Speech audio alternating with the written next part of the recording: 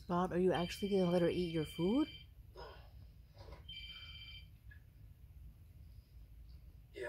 I can't believe it. Johnson, I'm sorry to wake you. I need your help with something. Oh my gosh. What's going on? What's wrong? I had a dream. This girl was driving.